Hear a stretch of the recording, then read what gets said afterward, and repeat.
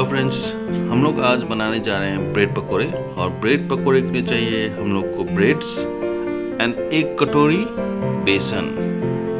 दोस्तों, इसका अगला प्रोसेस है हम लोग बेसन का एक पेस्ट बनाएँगे। हम लोग लेंगे थोड़ी सी हल्दी पाउडर, बस चुटकी सी। थोड़ा सा जीरा। थोड़ी सी सोडा, खाने वाला सोडा। हम लोग इसमें पानी डाल के इसका घोल बनाएँगे पेस्ट ध्यान रखिएगा, ये पेस्ट ज़्यादा पतला भी नहीं होना चाहिए और ज़्यादा गाढ़ा भी नहीं होना चाहिए। बस हम लोग को बैलेंस एक बैलेंसिंग पेस्ट बनाना है। तो चलिए फ्रेंड्स हम लोग का बेसन का पेस्ट हो गया है रेडी दोस्तों ब्रेड पकौड़े में फिलिंग्स डालने के लिए हम लोगों ने कुछ इंग्रेडिएंट्स तैयार किए हैं। जैसे कटा हुआ मिर्ची, लंबा पतला सा चॉप किया हुआ अदरक, चॉप किया हुआ लहसुन बॉयल आलू और धनिया पत्ता। मसाले में हम लोगों ने लिया है जीरा, मैगी मसाला। आप लोग इसके जगह गरम मसाला भी ले सकते हो, लेकिन मैं, मैंने नहीं लिया है, मैंने इसके जगह मैगी मसाला लिया है। और ये धनिया पाउडर, लाल मिर्च, कश्मीरी लाल मिर्च, ये हल्दी पाउडर। दोस्तों, उबले हुए आलू को हम लोगों ने क्रश किया है।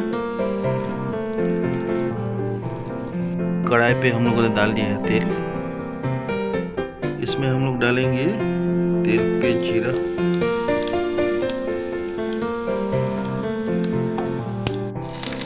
और हम लोगों ने इसमें डाला है कटा हुआ, चॉप किया हुआ अदरक और लहसुन।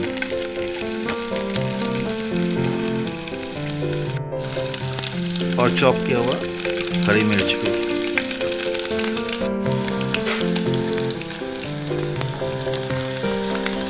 थोड़ा सा हम लोग इसको हिलाएँगे ताकि थोड़ा सा पक जाए। हम लोगों ने डाला है बॉईल किया हुआ आलू। हम लोग इसको पकाएँगे। हम लोगों ने जो मसाला रेडी किया था, वो उसमें डाल दिया है और इसको हम लोग थोड़ी देर फ्राई करेंगे। अभी जाएगा इसमें नमक। हम लोग का ब्रेड पकौड़े के लिए जो फीलिंग्स हम लोगों ने तैयार किया है, वो लगभग रेडी हो चुका है और हम लोग इसमें डालेंगे धनिया पत्ता। फ्रेंड्स हम लोगों ने जो ब्रेड पकौड़े के लिए फिलिंग्स तैयार किया था, वो रेडी हो चुका है। अभी हम लोग इसको थोड़ी देर रखेंगे ठंडा होने के लिए। दोस्तों, इस फिलिंग्स को हम लोग डालेंगे ब्रेड पे। एंड बहुत ही इवेंटली इसको ब्रेड पे हम लोग फिल करेंगे। अभी इस फीलिंग्स के ऊपर हम लोग डालेंगे और एक ब्रेड और हम लोग इसको सैंडविच की तरह तैयार करेंगे। अभी हम लोग इस ब्रेड को काट देंगे बीच से।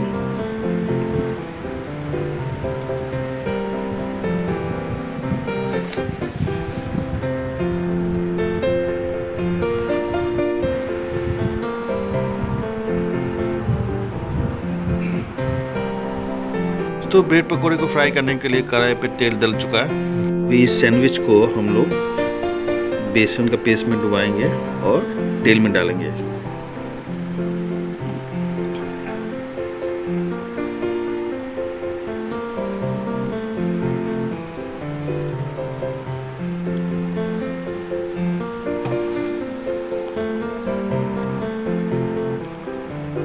दोस्तों, हम लोग इसको मीडियम आँच पे डीप फ्राई करेंगे।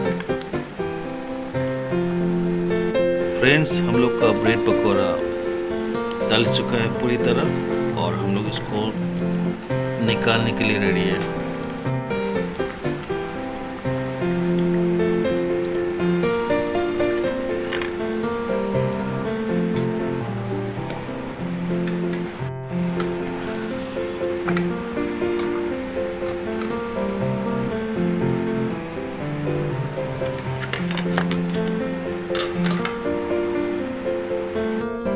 लोग का ब्रेड पकौड़ा जो है, हम लोग अंदर का जो फीलिंग से कितना पक चुका है, वो हम लोग थोड़ा देखते हैं। दोस्तों, बहुत सुंदर लग रहा है।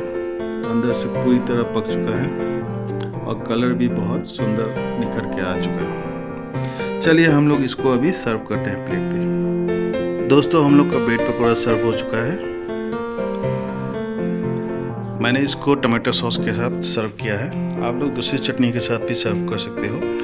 ये बहुत ही एक क्लासी नाश्ता है, जो आप मॉर्निंग और इवनिंग स्नैक के हिसाब से ले सकते हो। दोस्तों, आपको हमारी ये रेसिपी कैसी लगी? कमेंट बॉक्स पे ज़रूर बताइएगा। हमारी वीडियो को लाइक कीजिएगा शेयर कीजिएगा और सब्सक्राइब ज़रूर कीजिएगा, ताकि अगली रेसिपी का वीडियो का जो नोटिफिकेशन है आपको ज़रूर मिले।